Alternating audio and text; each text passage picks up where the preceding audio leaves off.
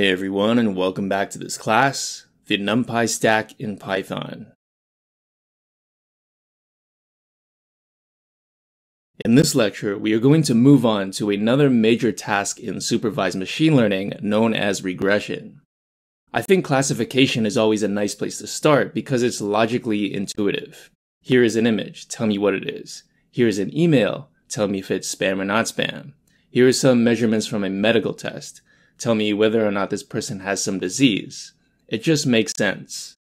Regression is also very intuitive, but it's intuitive in a visual way. Let me explain.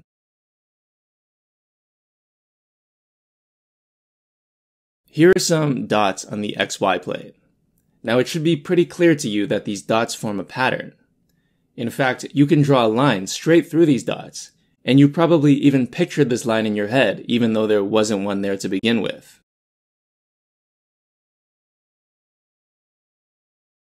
Here is another example. This one is not a line, but remarkably, we can still probably imagine what kind of curve would go through these points. So that's all there is to regression. Here are some dots. Now tell me the line or the curve that goes through these dots.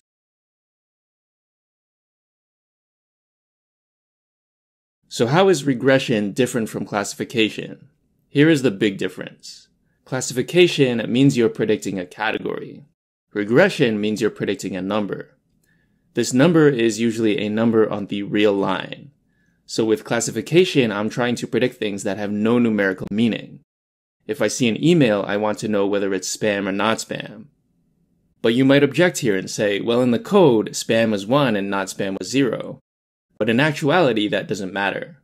These numbers are just symbols to represent the actual category we could just as easily make spam 0 and not spam 1. The results would be the same. In regression, the numbers actually do have meaning. In the next few examples, we'll see how this is the case.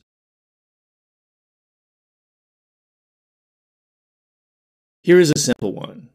Given a person's height, I would like to predict their weight, or vice versa. Naturally, a taller person has more mass and therefore weighs more.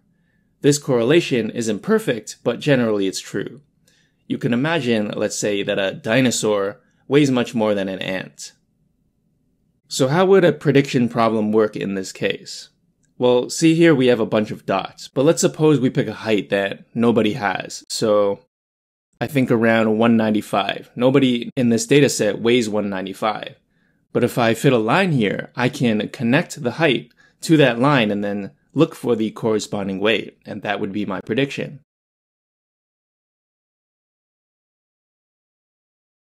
Another common application of regression is predicting house prices. If you're in real estate or you're in the business of buying and selling property, this is going to be very relevant for you. Note that in the pictures we looked at before, we were looking at 2D plots because those are things we can visualize. But just like with classification, we can have more than one input. For example, the price of a house may correlate with the average family income in the neighborhood and also the crime rate in that neighborhood. It might also depend on attributes like size, how many bedrooms it has, and when it was last renovated.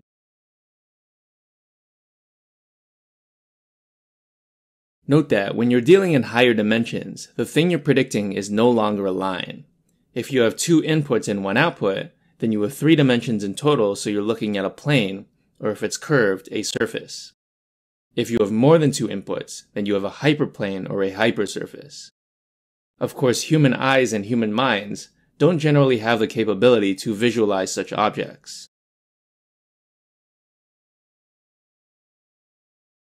Let me just give you one more example here, since for both regression and classification, I want to give you a real business example where people can take these ideas and make lots of money from them. So we've all heard of the stock market. Generally, one of the rules for playing the stock market is that you should buy low and sell high. That way, you always get more money than you put in. Of course, things don't always work out this way, and many people let their emotions and fear get the best of them, but that's a story for another course. From a machine learning perspective, what would we like to do? Well, this is pretty simple. We would like to take some inputs, let's say the price for a stock for the past 10 days, whether or not the company had a news article written about it yesterday, and whether or not the news was positive. We can take those inputs and output a prediction for the price of the stock tomorrow. Of course, if you can do this accurately, you can become very rich.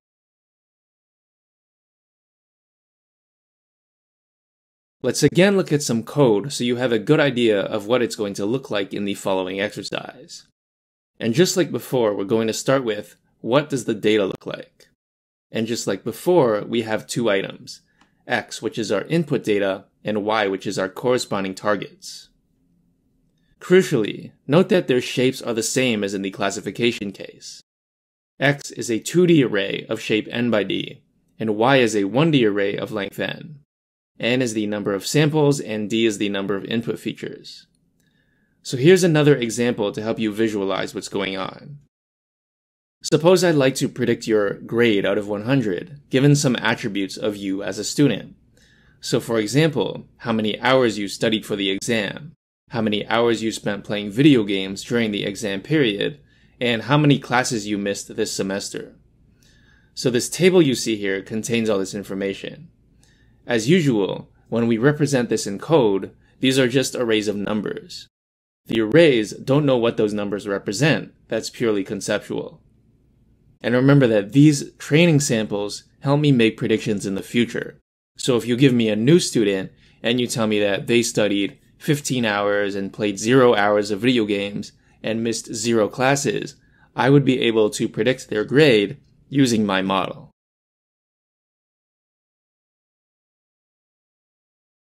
Alright, so what does the actual code look like? Lucky for us, it actually looks exactly the same as before. First, we instantiate the model. Let's say we're using linear regression. Then we train the model by calling fit and passing in x and y. We can also make new predictions by calling the predict function. Finally, we can evaluate the model by calling the score function.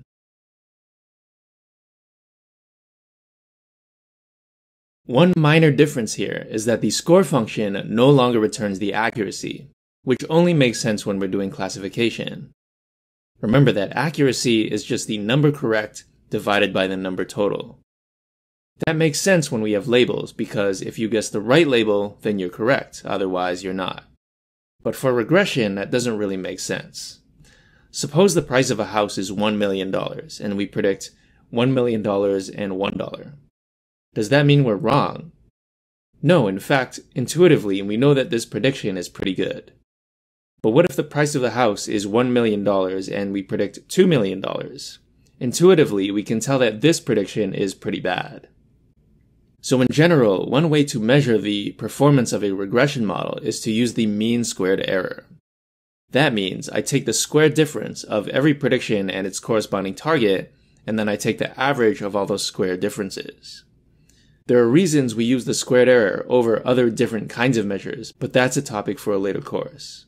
Importantly, the mean squared error is not what is returned by the score function.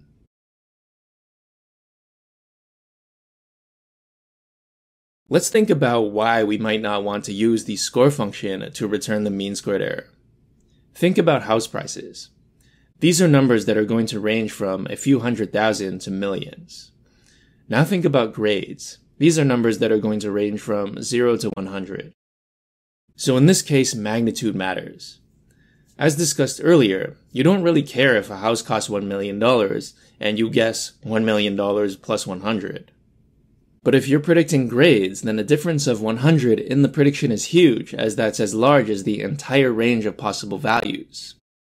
What we care about is the relative difference between the squared error and the possible range of values.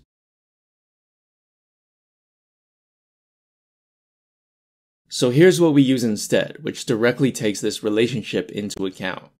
What the score function actually gives back is called the R squared, which is the correlation coefficient squared.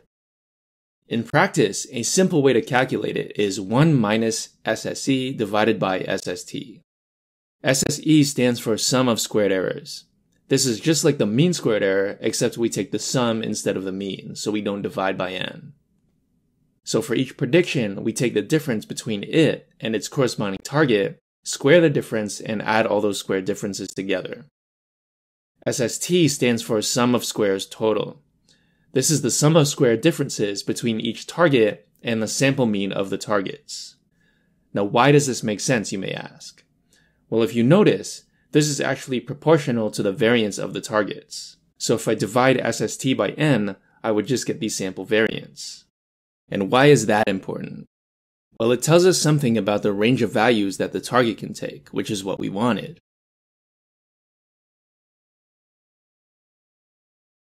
Let's analyze this formula a little bit. What happens if my model is perfect?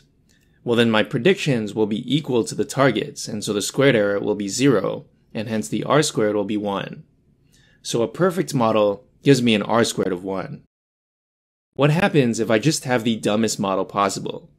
Suppose I don't even bother using the inputs, I just predict the average target every time. Well then my mean squared error is equal to the variance, and so I get 1 minus 1 equals 0.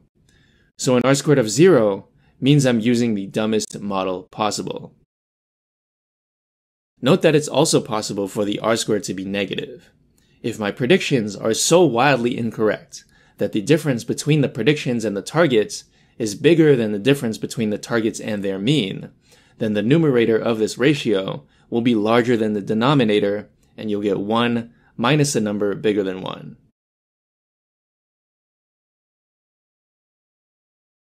Now I just want to make a short note here that it is not my intent to go too deep into the meaning of the r squared in this course. We're going to do that in a later course, so please don't worry too much about it now.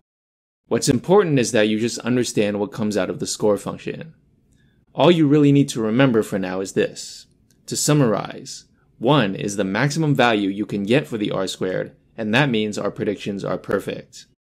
0 means our model is no better than doing the dumbest thing possible, which is just predicting the average value of the targets. A negative number means we do even worse than the dumbest thing possible, so hopefully you never get a negative r square.